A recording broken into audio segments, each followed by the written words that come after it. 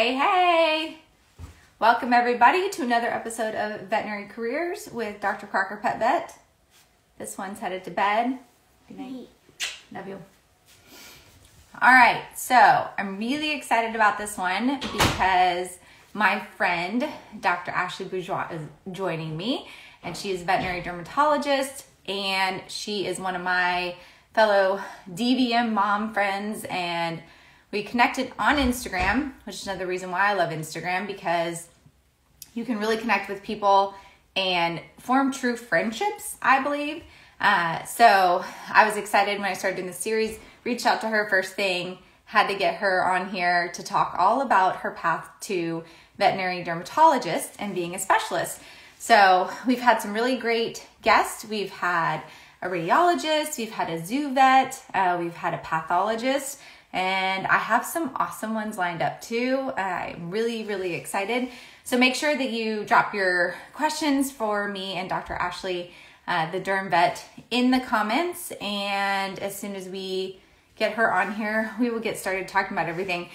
We usually have these last about an hour, um, and that's about the time it takes to cover when most of our specialists kind of realized they wanted to be specialists, what they did prior to vet school, what they did in vet school, uh, and what they have done since then with their careers. So I am excited about it. I think it's going to be a fun talk. I'm looking forward to it all day. So I think it's going to be really good. Let me see. I was excited also that my internet was working so we could actually have this because Texas has had crazy weather. Hi. Hi, look, we're twinning. Oh my gosh. I love it. Cute. I uh, I was actually thinking about this. I saw Lowe's last week and she was all like cute and like had lipstick on. I was like, well, that won't be me. Um, I just ran off um, and left my husband with the kids, and I was like, "This, what you see is what you get." So, um, so I, I love getting ready and looking nice, you know, but it doesn't happen often. I, I, I think for this that you are uh, definitely dressed appropriately, so you are good to go. I know Lo looked beautiful uh, last beautiful. week, and I felt like a hot mess next to her. So um, I I appreciate you not uh, not showing me up. So I'm so excited. I've been excited all day about this. I was like, this is gonna be good. It's gonna be fun. Yeah. So I had a lot of questions come in, and you have probably watched some of these or kind of know we we start even pre vet school. We start like prior to, um, you know, kind of telling a little bit about getting into vet school and when did you start to kind of think about dermatology if it was in the pre-vet era um, so oh dr Duan, jackie's on here i cannot say her last name to save my life Duenes. Duenes.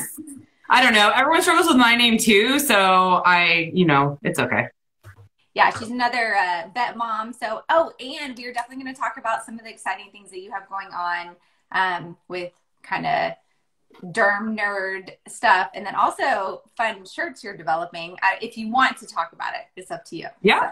So. Okay. Yeah, totally. We can absolutely talk about. It. I'm really excited. I just don't know when it's going to happen, but it should be soon.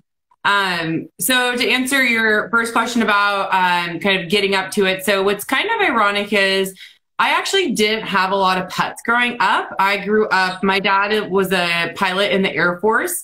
So we moved around a ton. Um, and so we didn't really have, we had a cat when I was super young. And at one point we had a dog for a little bit, but then we ended up moving and um, having to find it another home based just on the situation.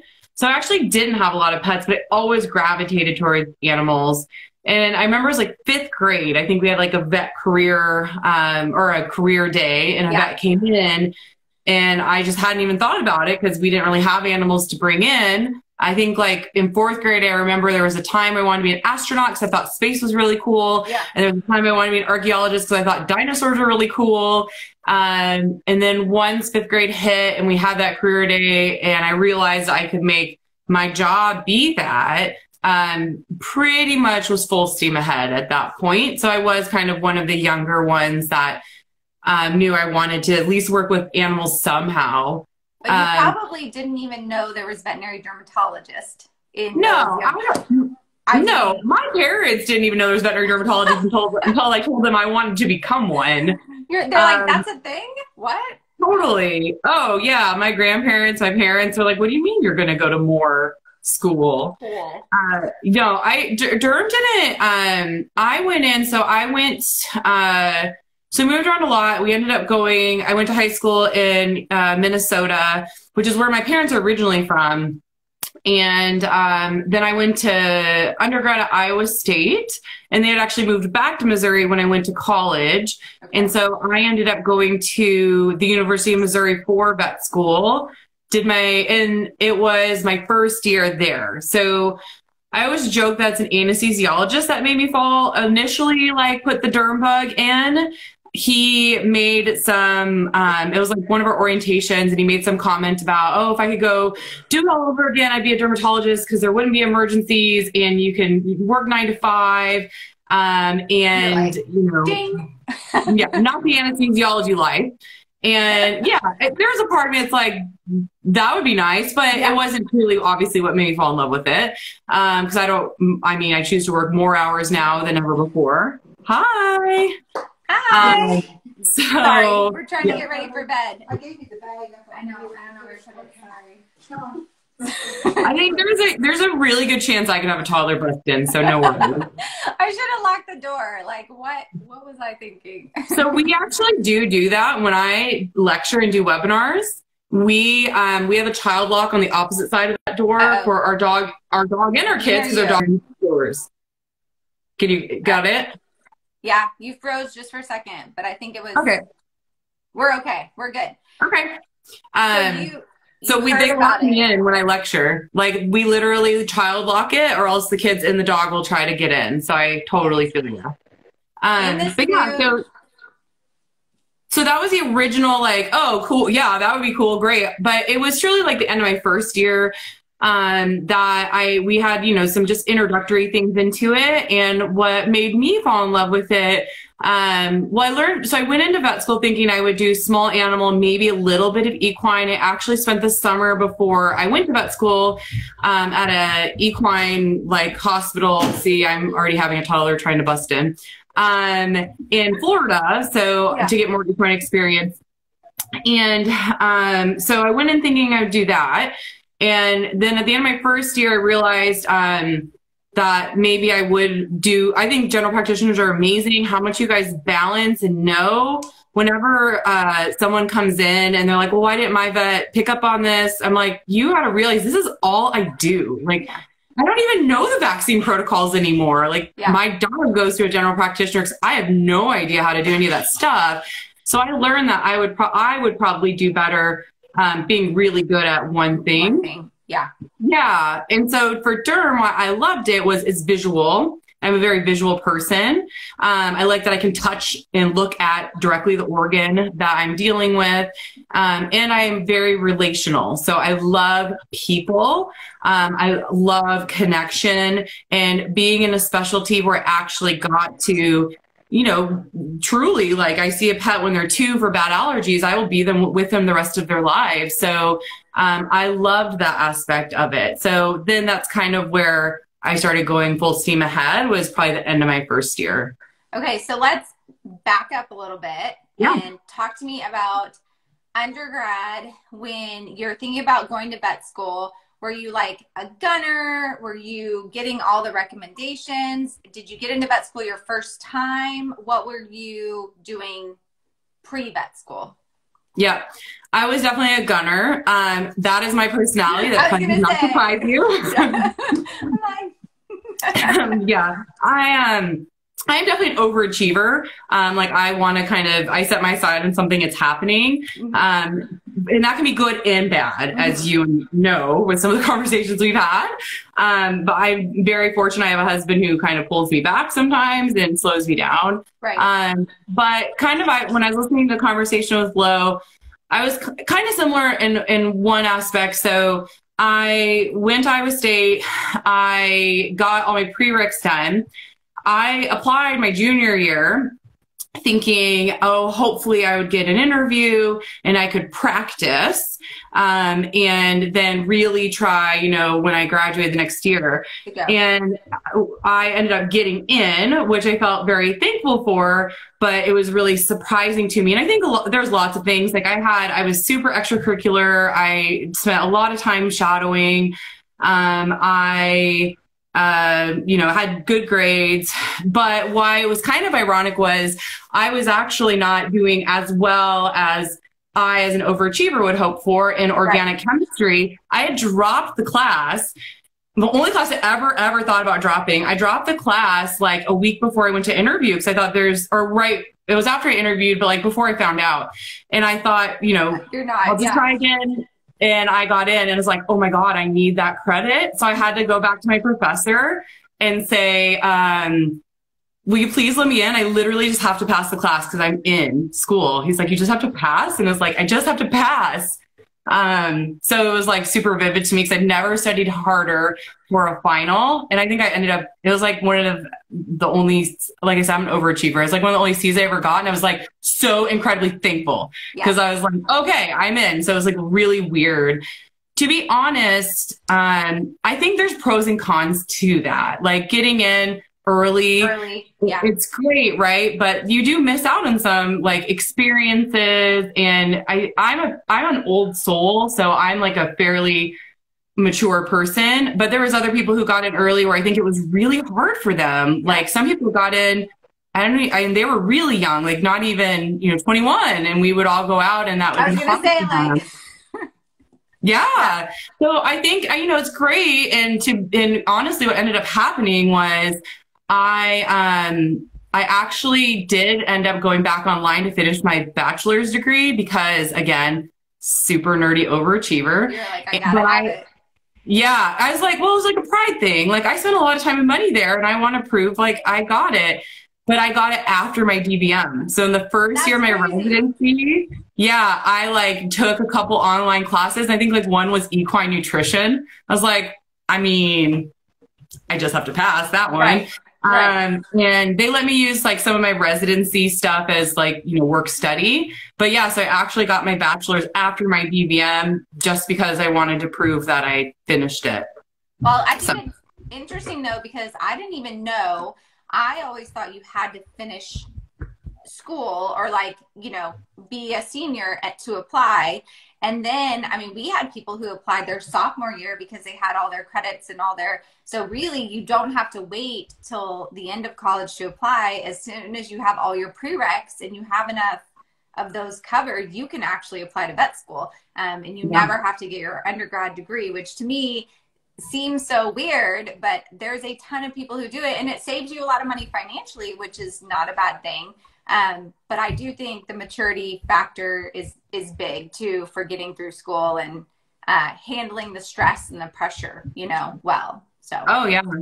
I think everyone's different, but I totally agree. Like, even though it sounds funny for me to say because I ended up doing it, but I was like shocked. But for everything you said, like I could li- go move closer to my parents because they had moved since I started going to school. My dad ended up being deployed um, for a year when I was there. So it was nice because I was only an hour and a half from my mom. yeah. um, so it ended up working out. But yeah, in hindsight, I think there is a lot to be said about enjoying undergrad and, you know, not necessarily rushing the process. Dr. Marshall said his wife got accepted to vet school when she was 18. And I That's can't even crazy. imagine. That's crazy. Like I at 18, I was just trying to figure out how to make it to class at eight o'clock in the morning. Like that was the extent of it. So that's crazy. Okay, so you get into vet school first time, Gunner. You're going through vet school. You start thinking about derm. So once you kind of knew like this is going to be the path, is the next thing you're going to be looking for is a rotating internship or what are you looking for next and what did you do to accomplish that next step while you were in vet school? Yeah. So at Missouri, what I really liked about their program is we actually did um, like two, a little over two years of class, and then you got almost two years of clinics. So our summers were shortened. Our summers were only like, I think, five or six weeks long to make up that class time. But then we got more clinical time. So you had more availability to do rotations. At Missouri, we actually didn't have a full time dermatologist. We had a part time dermatologist who'd come like two days every other week. Um, so I essentially went and formed my own derm rotations. Which, of course, you did. Yeah, which in some aspects was great, right? Because it um, derm, I think there's like 300 of us, so we're a, like a smaller college. So I still can, I still know all the people I spent time with, um, and it was great as far as networking, and I loved it, and I got to travel and see other places. But it, it did, you had to be proactive and do it yourself. Um, and then my internship. So I did do an internship Derm, you don't have to. You see tons of dermatology in general practice, honestly. Um, I just really wanted to. Like, I think it solidified to me that this is exactly what I wanted to do. Um, I also just liked the camaraderie of having an experience at another place. So I did my rotating internship at Purdue. They had a dermatologist. She has since retired, um, but she was only there like part time too. So I actually ended up spending a lot of time with a dermatologist in Indianapolis, which was like an hour, hour and a half away from Purdue. And she actually at the time was with the company I ended up doing my residency with. So it was kind of weird that it worked out exactly the way it should. When I applied my um, intern year in the match for residency, I did not match. So I think that's something really important for people to know. I think there's like four programs that year. Like two of them took their, kept their interns, but I spent my own money and time going and interviewing at the four places that had a spot that year. And what ended up happening, I still remember like breaking down in the intern room in tears because I, you know, you open it up, it's like 8 a.m. and I didn't match, even though I was worried that was a possibility because there wasn't many programs. But what ended up happening was my program that I ended up in um, was outside the match. And and obviously in retrospect, it ended up being exactly the program that I would have wanted. And what happened was I went and inter- I, I went to the derm meetings in April. So I went there and I networked like crazy. Um, and I found out that this spot had opened up and I talked to them and they interviewed, uh, they picked three of us to interview, flew us out there. Uh, it's a animal dermatology clinic in Orange County, California. We have several clinics throughout the country. I went, I worked two, when I did my internship, they've changed it because this is crazy. We did, we would do two straight weeks of overnight emergency, not a single day off. Um, which in some ways was great because when you did it, you didn't have to ever cover for anybody, but by night 10, you were a zombie. I went through 14 straight nights of overnights, flew the next day to California, um, and interviewed for a couple days. And I think I interviewed fine, but honestly, they said what ended up happening was everyone at Purdue, like every mentor I had there, every you know, internists all berated them and called them. And they said they couldn't like go a day without being like, we want to talk to you about Ashley. Why do you have to take her. And that just goes to show how important networking and having a support system through all the steps of your education really is. Yeah. Because you people who put the, their name on the line for you and say, you have to take this person. I mean, I honestly think that's why I ended up getting my residency. Well, especially in such a small specialty where mm-hmm. you know, everyone kind of knows everybody. So, real quick for your small animal rotating internship right after school, did you you went into an academic one? And we've talked to a lot of the specialists about private practice versus academic uh, internship. So, do you feel like for derm you have a better chance of matching if you go the academic route versus the private practice route, or do you think it matters? I think it really depends on the year. And that's the hard thing. Like there's more programs I know offered this year. I think there's more programs that are starting to be offered compared to like when I did this, because this was now like 11 years ago, which is crazy. It makes me sound super old. Yeah, um, yeah. But so I think, I mean, some years there's more private practice, some years there's more academic. And I think it really depends on what you want. I think it actually worked out exactly the way it was supposed to be that I ended up in a private practice residency um, because the benefit is the caseload. Like we definitely see a much heavier caseload. Um, you know, we do presentations for each other to learn our scientific topics, but we didn't have to, you know, we had students that extern, but we didn't necessarily have to do like student rounds. So we kind of got to focus more on our education. I think it just depends on what you want. If you want to do more research and potentially teach students, um, academics by far going to be a better option for you. But one really good thing about dermatology is you see so much of it anywhere you go. And besides videotoscopy and then potentially laser as far as more advanced things, and it's always great to have like CT, you can do so much of it just with slides in a microscope and biopsy. Um, so I think our specialty tends to be a little bit more forgiving as far as that goes.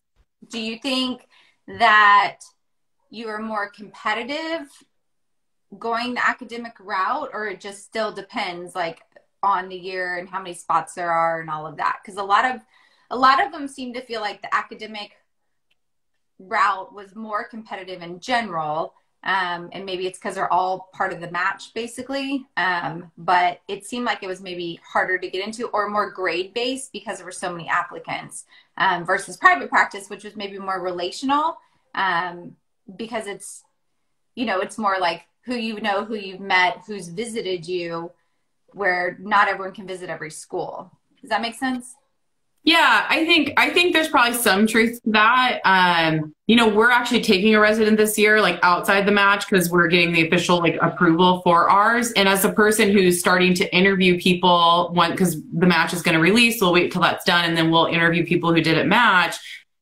Like me personally, looking at someone, but I'm in a private practice. I care more about personally, like referral, like their reference letters, um, and I care more about their interview because to me like yes grades are great. Like we want to see that someone's like competent but like i don't really care if it's someone who has a 4.0 versus a whatever like 3.2 if i have to put i want to know that they're dedicated. I want to know they're going to talk to clients really well right. because dermatology is so much communication and i don't really care if someone got straight a's if they can't talk to somebody. And you know when i'm often off on a day in the clinic and they have to talk to my clients I want to make sure it's someone that my clients feel really confident with. So personally for me, and maybe it's because I am private practice, I would be much more like I would pay much more attention to who's writing their letters and what do they say about them. How did they interview? Is it someone I want to be around? We're super like our culture at our clinic is really good and we're super protective of that. Super protective of that. Um, and like how did they go out and do a lot of derm things? And this is something they have really, really tried to know that they want to do.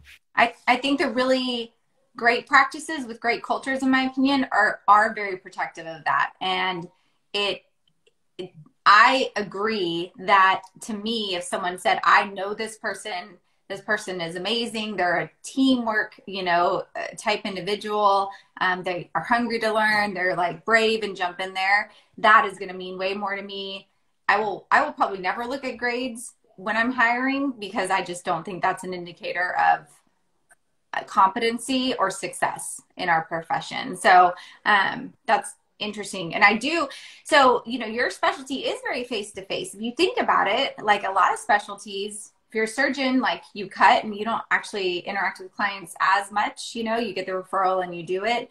Um, obviously, like I did ClinPath Kate, and she's a pathologist and she never interacts, you know, with uh, clients. And so, do you feel like you were drawn to derm because it is more relational and client based in general, or did you love the microscope and love derm, or was it just a combination of everything?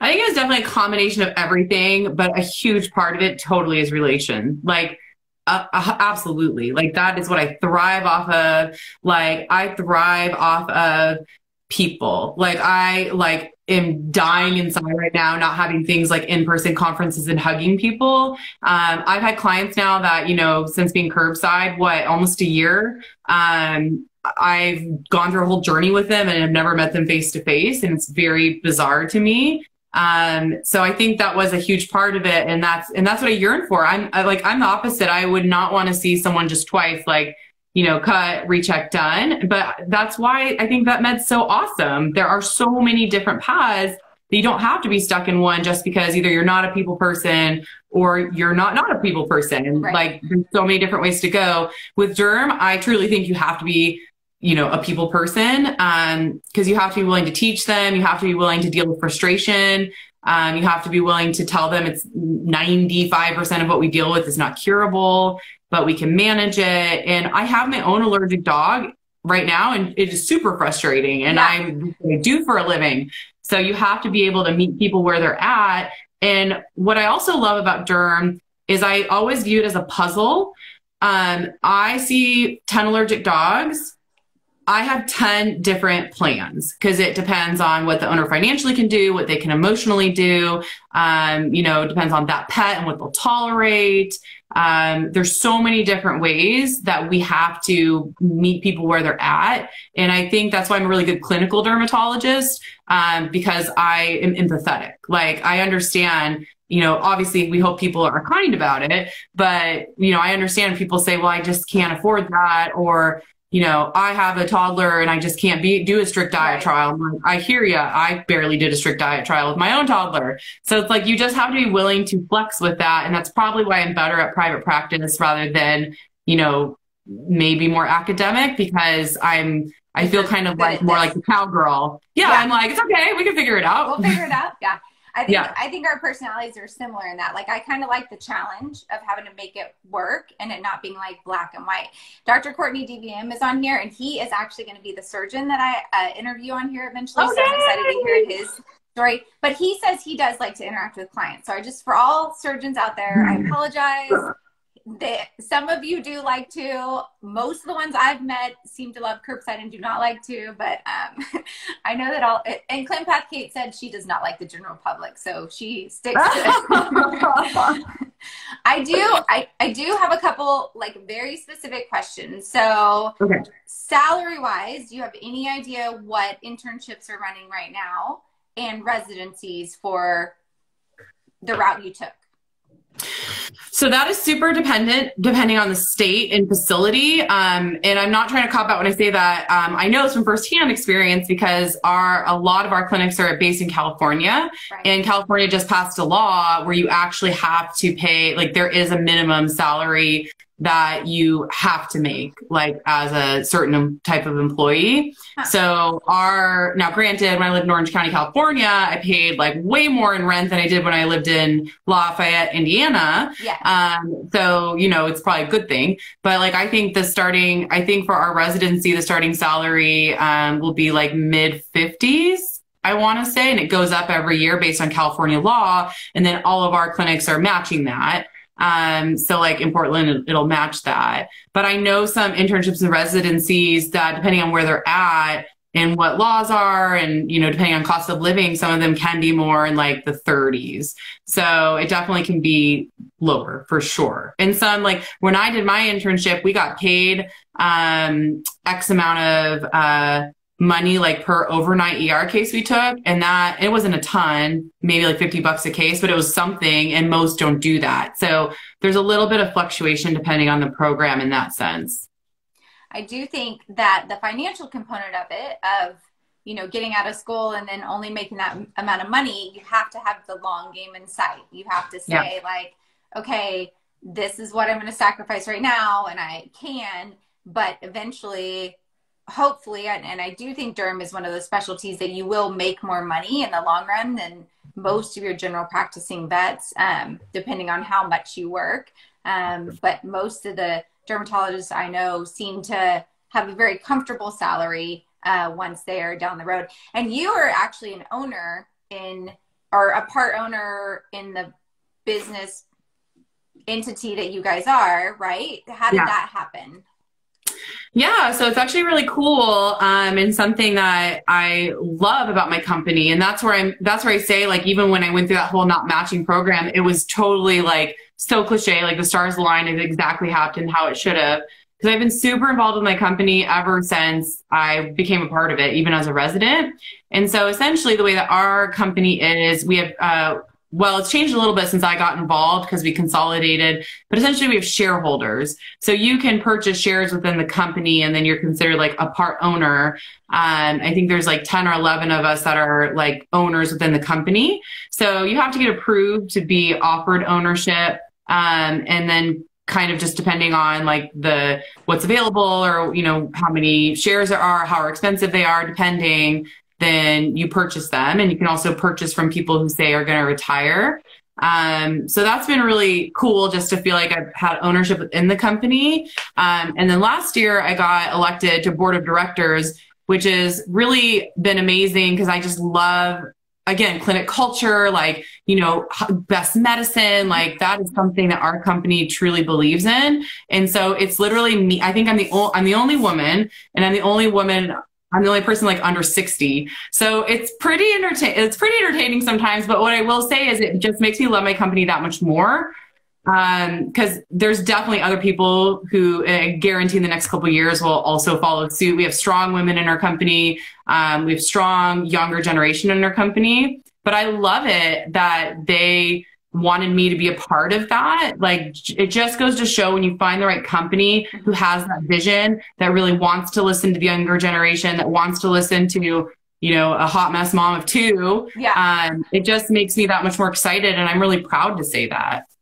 I, yes, that is awesome. And I knew you were a board member and I love it even more knowing you're like the only woman under 60 on the board. Like that is, that's amazing. And your perspective is one that they need to hear because one, we know the more like diverse and inclusive leadership is in a practice, then it's going to trickle down and it's going to be a better experience for everyone. And especially with COVID and having to deal with working parents, um, like I'm sure that those men don't have to deal with the what am I going to do with my child during COVID with daycare shut down, like all of those things. And so having you on there and having that perspective and being able to speak and empower some of the women in your practice, I mean, that's really, really important. So obviously we need more women doing that, but um, that's, that's good.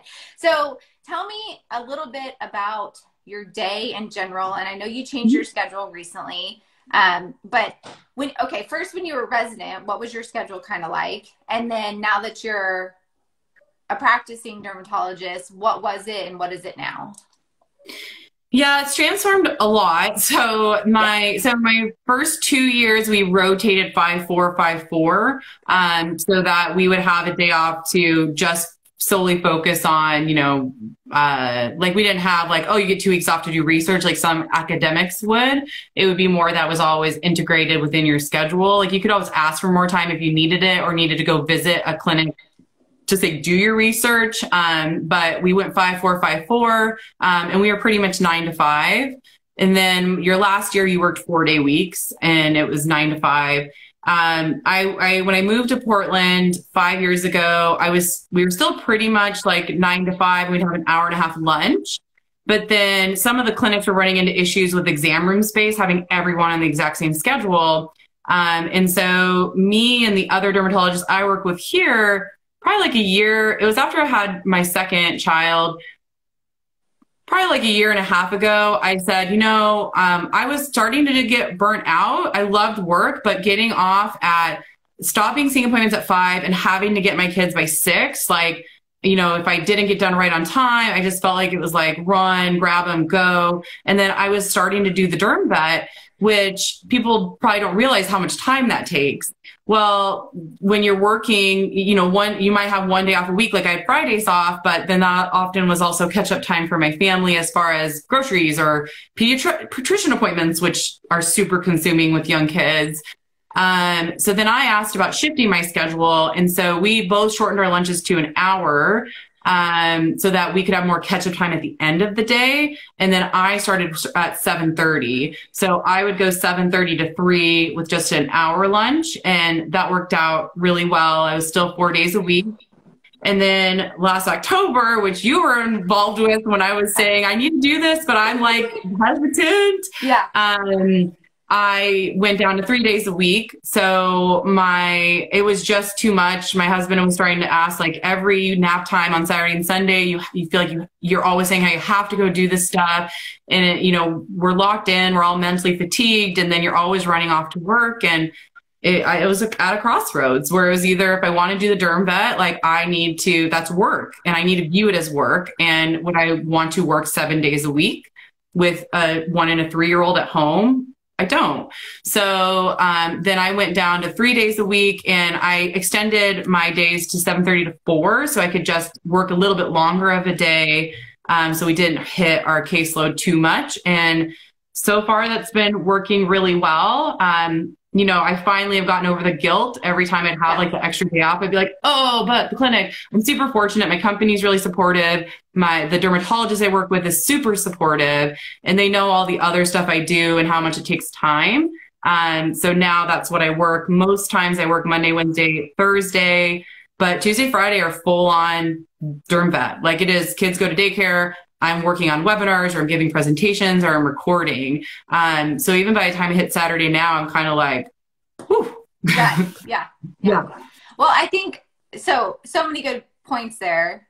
Yes, having social media or doing all that, it is a whole nother beast and a whole nother job essentially. Um, and so I, I, I'm jealous of your schedule. Um, I did the same thing years ago with scheduling in rooms, kind of looking at our schedule and saying, hey, the surgery suite's open at this time, and I would like to just come in and do surgery first thing and then start doing rooms when the rooms are then open. And then I want to leave early and I'm not going to even take a lunch. I'm going to take a 20 minute lunch. And it was like, my boss was just like, what? That it, and he's like, that would work.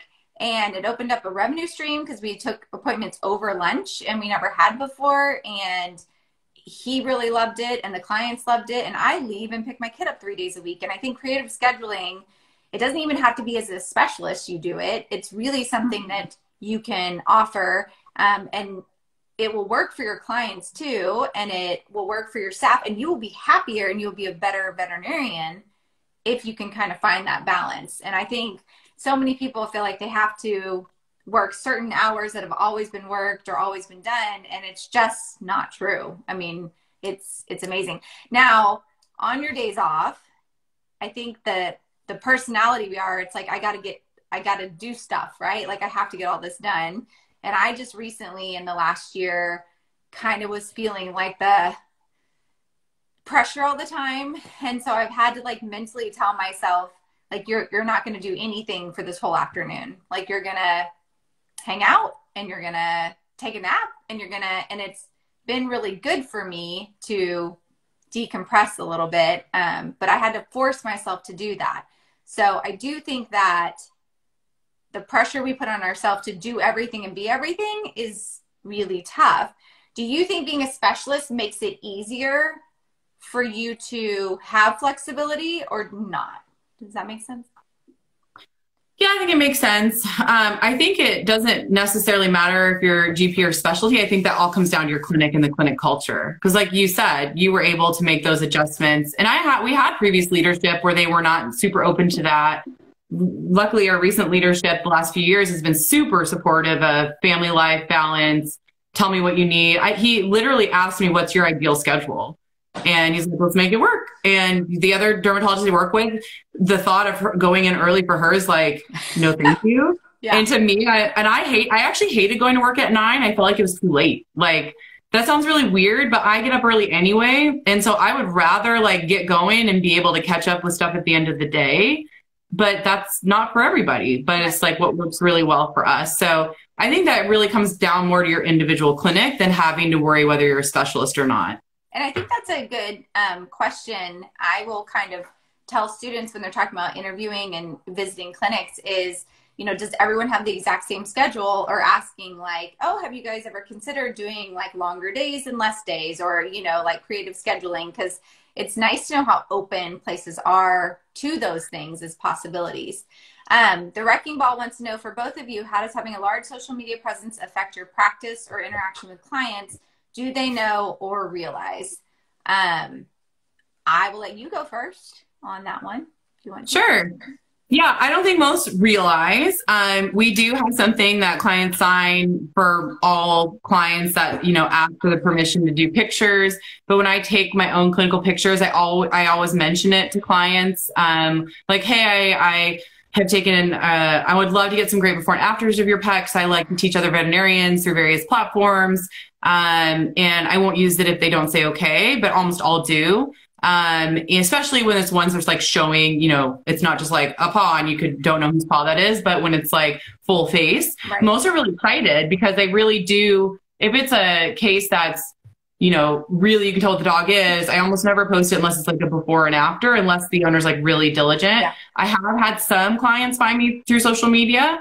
Um, which is always kind of fun and interesting. Yeah. But I don't necessarily announce it. Like I don't say, oh, the derm vet go follow me. But they, you know, if I use a picture, I do let them know that I'm educating other veterinarians through using them. And then I always tag my clinic in the um, uh, clinical pictures too. And that's just like something that I talked to our CEO about, just making sure we are all supportive of each other. You know, they just wanted to make sure that they knew where I worked. So if someone did find me, they would know.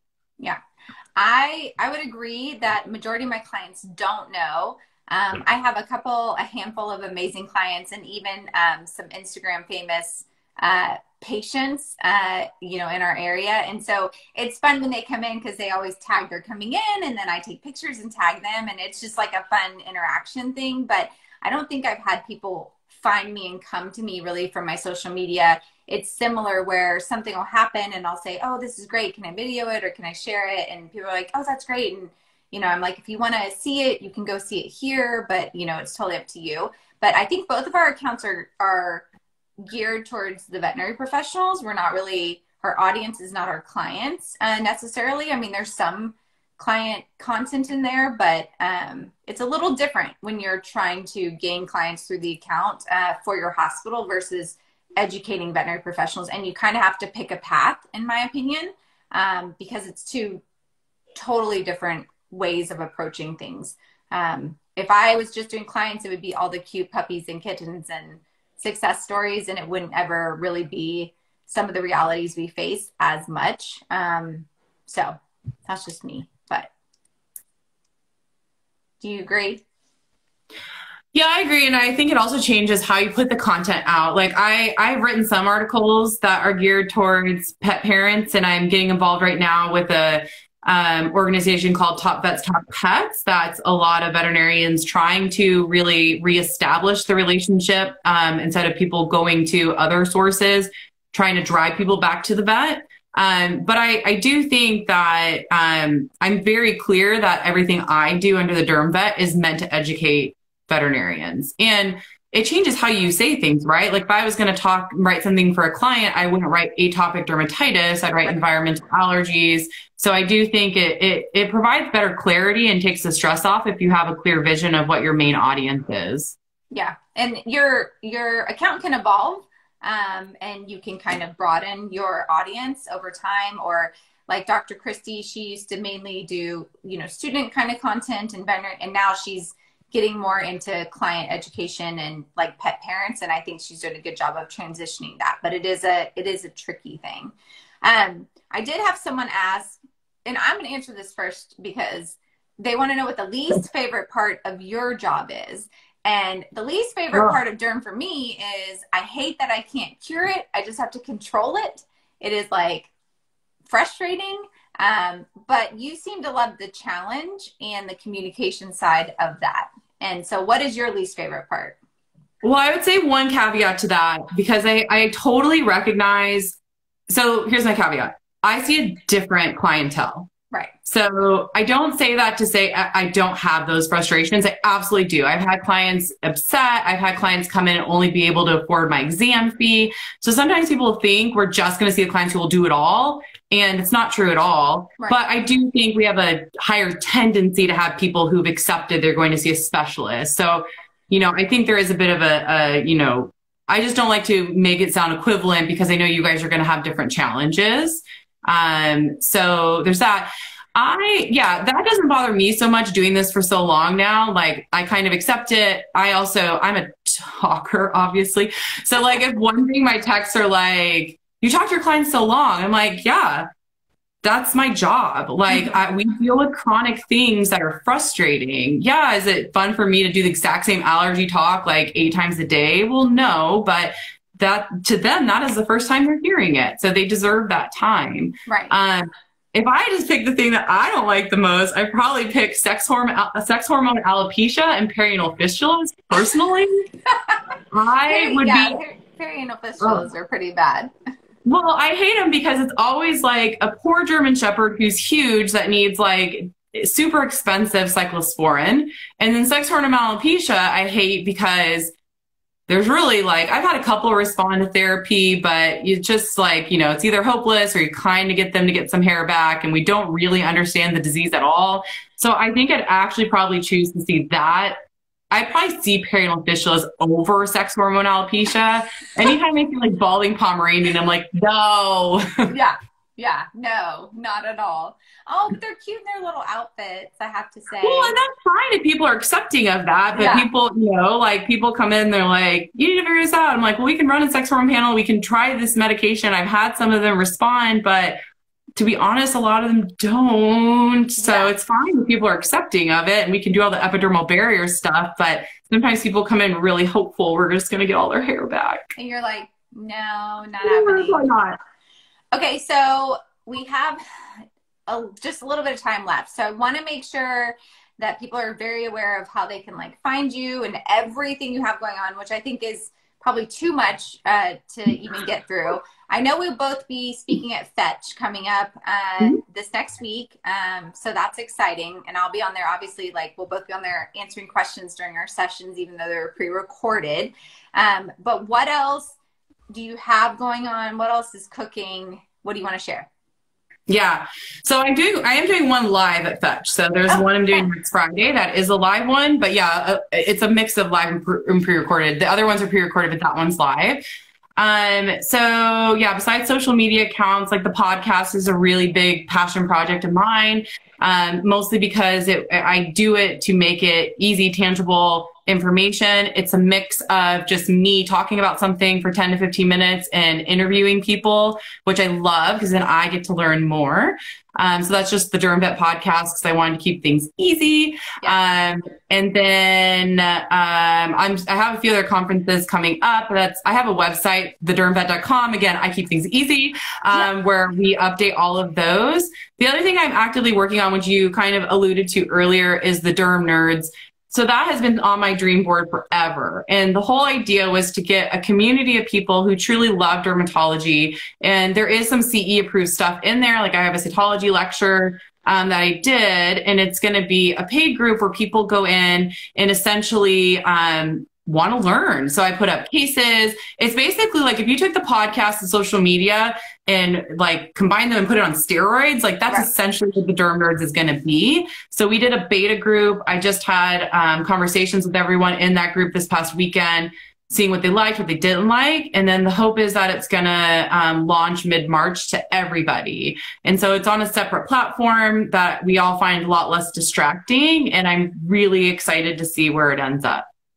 I am excited about it. I like, I think when you're with and talking to other people that are also interested in something, it's cool to see like what their thought process is. And the cases to me are always helpful, even though I feel like all I ever see is environmental allergies. Occasionally I see something that I'm like, so I, I like that there's other things in there. Um, and then obviously I love your podcast. You've had on some good guests uh, and we've had some fun together.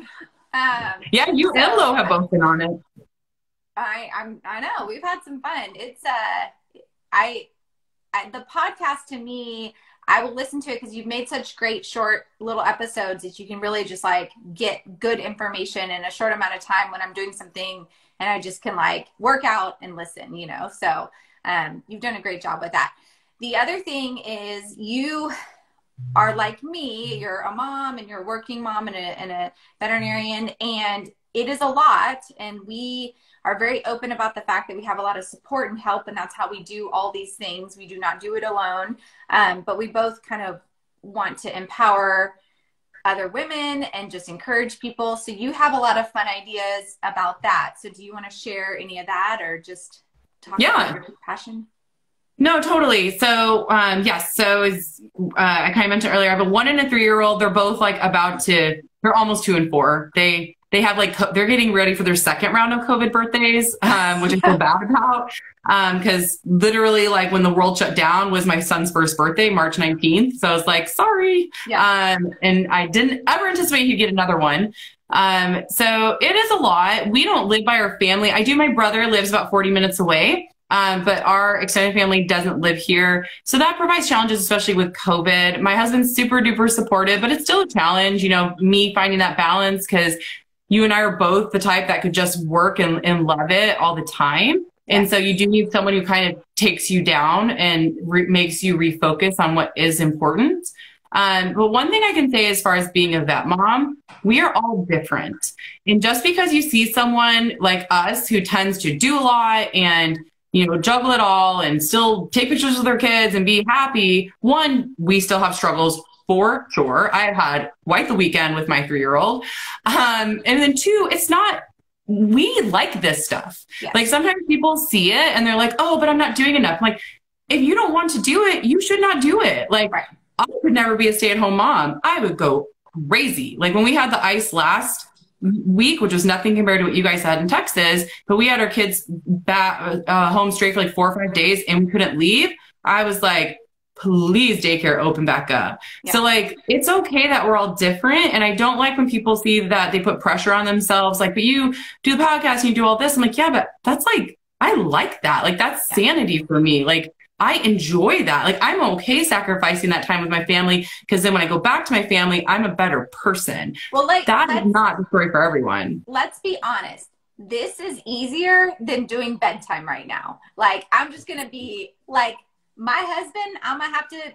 I'm gonna have to give him some extra kisses later because this this is like a walk in the park compared to trying to get two kids to bed when it's Sunday and it's been a long week and you have school tomorrow. So, um, yeah, it, it really is. Uh, it's interesting when people ask me about balance, and I'm like, you got to find things outside of your job that bring you joy and make you happy, and that allows you to be a better mom and a better, you know, veterinarian. But it's funny because I do think a lot of the things I love are still very veterinary related. Um, yeah. if that makes sense. So, same, but honestly, and that was this, I had a bigger struggle at the crossroad of having to pull back with the clinic. Like, and that was something that I always dreamed would be the case. And I have no intention of leaving clinics. I absolutely love clinics, but the reality was it was either I had to pull back a little bit at the clinic, I had to give up or do less with the derm vet, or I had to give my kids back. And so obviously my kids are here to yes. stay. Um, and I love the derm vet. So it really was the finding the balance. And I don't know what the balance is going to be when I go back to traveling for lectures. Like that's a whole nother ball game.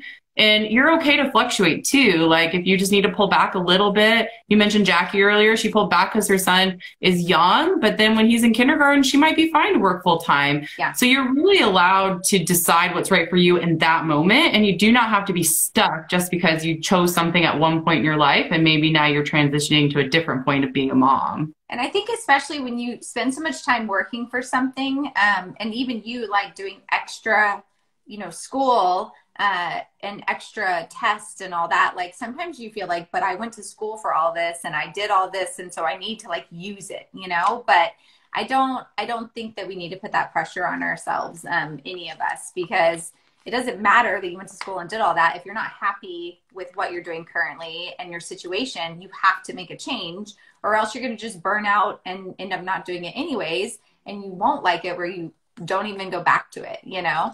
Um, oh, so. Yeah I think that. Sure. Well, the one thing I know you're trying to allude to earlier, because I don't even have a clock in here, so I'm sure we're short on time, but I don't know what time it is because you're on my phone. We have like five minutes. oh, okay. So we still have time. Yeah. Um, I was like, no one's. So actually, I will still have to do bedtime because I'm on Pacific time, so we're just about to seven. Oh, sorry. I, didn't, I know. You can a little later next time. No, it's good. Um, so I'll still have to do bedtime but um, but I, he's getting witching hour, so it's still a good trade off. That's bad. Um, but yeah, what you're alluding to before, which I'm really excited about, um, is I don't know when this seems to be the story of my life. I always have these things like in motion, but then I just want don't want to commit to a time because I, I really don't know when because we have to order samples and all that stuff. But been working with an amazing group of women. And I think that's another thing to realize too. I did hit a point where I couldn't do all the DermVet stuff by myself, like graphics that go up. It's all my content. It's all stuff that like I want to do, but I don't spend three hours on Canva to make a graphic which it truly would take me that long. Right. Um, people helped me with that. So I did get to a point where it was, I had to buck up and if it wanted to grow, I needed people who could do the stuff that I didn't know how to do. So I could focus on the stuff that I was good at, which was actually doing the derm part of it. So they have helped me, but it was really passionate project for me as I wanted to put out some vet mom shirts.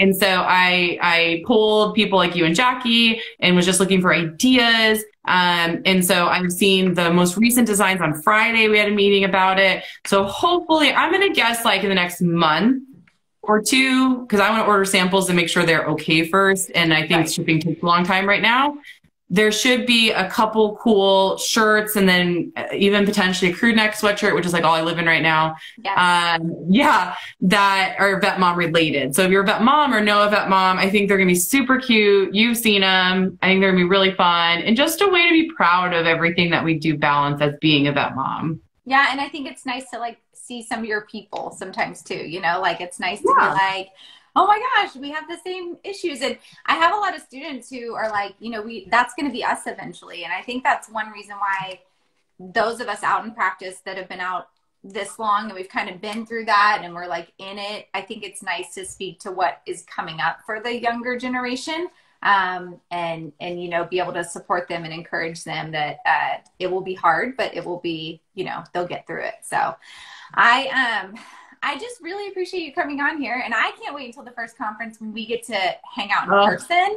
It's gonna be so fun. Oh my It's gonna be so fun, and I like totally because I I officially hit the year mark since I've been on a plane. I think this past weekend because it was Western Veterinary Conference a year ago. All my memories were popping up.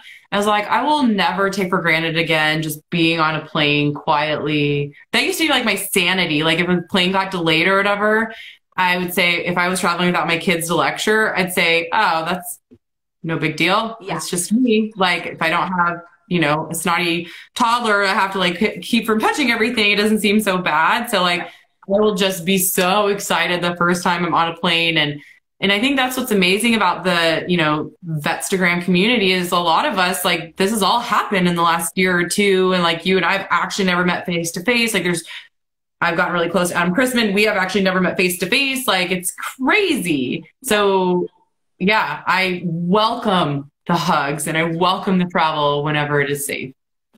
Well, and I think both of us are very open to connecting with people. So definitely anyone on here who wants to reach out, or if you have more questions, uh, JNN Morency says she's actually um, a derm intern in a private practice in Montreal, oh. and so she enjoyed this. So um, definitely reach out to Ashley if you have questions just about career and options. Um, we both even though we are very busy, I think the thing I enjoy most is just having a message that's really personal that someone wants to talk about something or needs something that makes all of it worth it for sure. So, um, I appreciate you. I will let you go do bedtime now, and I'm going to go see Aww. Minor in bed. and I know I hear some pounding upstairs, so know, I'm sure like, it's fine. Uh, it's, but I do appreciate his twinning on not on purpose. So I know, I know, my sister was on here and she's like, "Did you guys plan your outfits?" I'm like, "No, sister, uh, we didn't. We don't have time. They don't know us." But I do think you need to do this color in a crew neck because this is my favorite color. So I'm gonna need okay. you to, to do that.